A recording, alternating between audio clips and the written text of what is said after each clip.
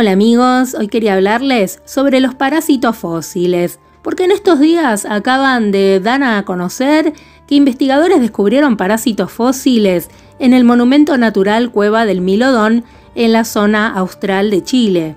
Se analizaron 52 coprolitos encontrados en el Monumento Natural Cueva del Milodón para determinar si había parásitos. Esta cueva es conocida hace más de 100 años y ahí se descubrió una piel que correspondía a un milodón, un gran perezoso terrestre. Los coprolitos son la caca fosilizada de organismos que vivieron en el pasado. Esta investigación fue publicada en la prestigiosa revista Ciencias Arqueológicas y Antropológicas. Se analizaron 52 coprolitos y en 18 de ellos encontraron 6 tipos de parásitos. Este hallazgo es todo un descubrimiento, ya que hay muy poca información a la fecha sobre los parásitos de los mamíferos del Cenozoico, que es conocida como la era de los mamíferos, que poblaron el planeta una vez que los dinosaurios se extinguieron. Es tan poca la información que hay que esta es la segunda publicación académica en el tema. Fabiana Martín, doctora en arqueología, investigadora del Centro de Estudios del Hombre Austral de la Universidad de Magallanes, comentó respecto a la importancia de estos hallazgos es que es la primera información detallada sobre los parásitos de esta especie extinta, lo que permite conocer un poco mejor su ecología.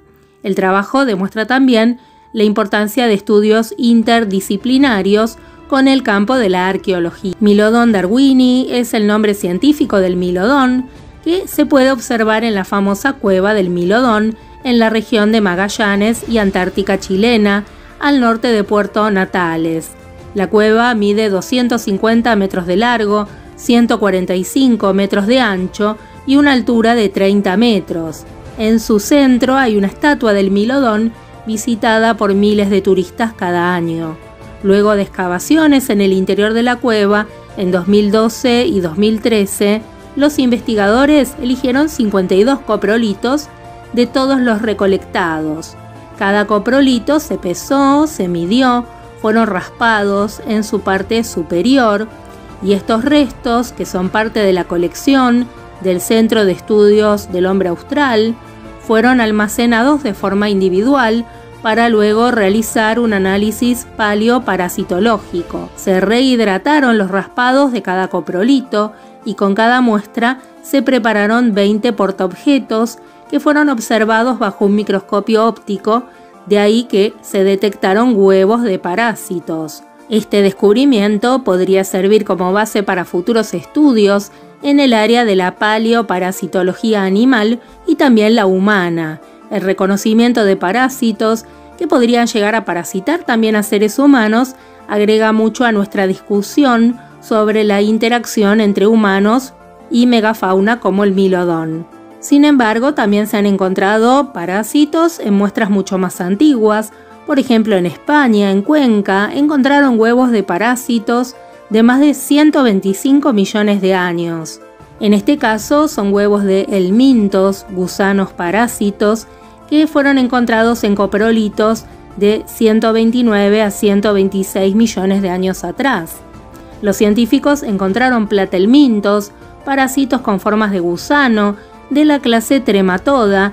Para los trematodos, el primer hospedador tiene que ser necesariamente un molusco, por ejemplo un caracol, y luego necesita un segundo huésped intermedio, generalmente un pez, aunque también podría ser un crustáceo. El huésped definitivo del parásito se infecta cuando ingiere al pez o al crustáceo, donde se ha desarrollado la metacercaria del parásito uno de los estadios de su ciclo biológico, alcanzando la madurez en el sistema digestivo del huésped definitivo, que pueden ser animales como reptiles, aves, mamíferos, incluidos humanos, por ejemplo, o peces de mayor tamaño. Es en el huésped definitivo donde el parásito llega adulto y depositará los huevos que serán expulsados comenzando de nuevo el ciclo biológico de este tipo de parásitos. En este caso en particular de España, se encontró un huevo de trematodo en un coprolito atribuido a un pez, probablemente un pez teleósteo, adulto, así como restos fósiles de los huéspedes intermedios, como caracoles, crustáceos y peces de menor tamaño. De hecho, el coprolito donde se encontró este huevo muestra restos de crustáceos en su interior, lo que corresponde con el ciclo de vida de los parásitos trematodos. El productor del coprolito ingirió en su dieta crustáceos infectados con la larva del parásito y una vez adultos produjo los huevos que se han encontrado en el coprolito.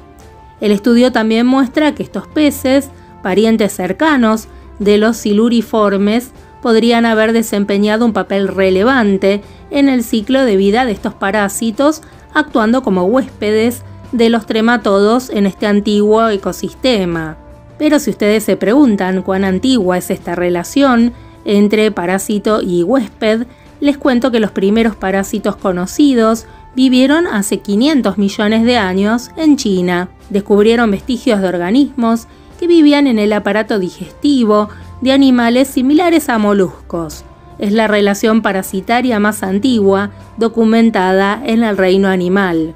Hace más de 500 millones de años, algunos de los animales más antiguos de la Tierra ya tenían que luchar contra los parásitos.